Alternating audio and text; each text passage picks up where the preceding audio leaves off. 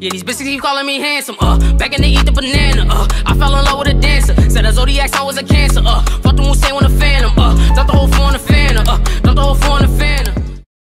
Hey yo, what is up G fam? I'm back at it again doing another freaking vlog today, guys. Oh man. Gotta tell you guys, son. My Instagram account got deleted, well, deactivated again. But I got it back last night, two nights ago. And uh, they didn't really tell me why they deactivated it. Praying that it doesn't get deactivated again because I'm in a little situation. A little uh, bad situation. Guys, I just got back from the hospital uh, Saturday night. Today's Wednesday.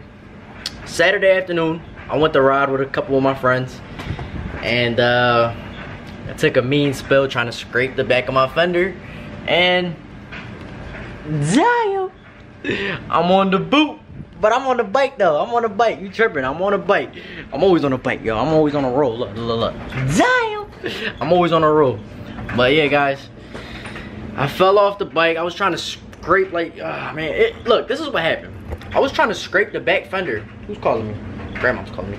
I was trying to scrape the back fender of my bike, but you know, I was also, I was practicing. I almost fell.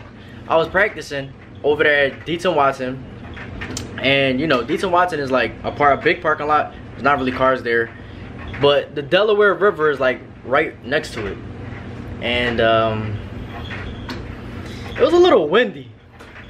I picked up my bike. I went literally, gave it one, two, three, popped the clutch, boom. I went up. When I went up, next thing you know, wind pushed me to the right. I was like, oh, lost control. And then I wasn't going fast or anything though. It just I just lost control. But yeah, I went to the right. Fell on my bike fell. The foot peg, I, am guessing the foot peg fell on my bike. Well, the foot peg fell on my bike. The foot peg fell on my leg and it went inside of my leg. Right now, guys, I got like 25 to 30 stitches in my foot right now. Yeah. Just got back from the doctors though. They said that I'm good. I'm about to take a trip to Colombia and the next, by next Tuesday, today's Wednesday. Next Tuesday I'm out and I'm going with the boot. You already know the vibes, man. But I'm gonna get, I'm gonna still be turned. I don't care about this foot. I'm, I'm still walking. I'm still Willie in this John. Man, I'm cool. I'm cool. But yeah, guys, that's the little update with your boy Gio. I am crippled. I'm literally crippled right now, but it's cool. I'll be back soon. I'm ready to ride again, though. I missed my bike. That was a scary day, though. You guys should have seen, like, when I fell, the foot peg went right into my foot. I got up, fell right back down because I stepped on my right foot. Went right back down. Boom. I was like, oh. I looked down, there's blood gushing, like gushing out of my foot. Matter of fact, let me show y'all my forces. Cause I was wearing forces. I think that's that's one mistake I did right there. Ugh. Oh, my bike running away. Alright, these are my forces.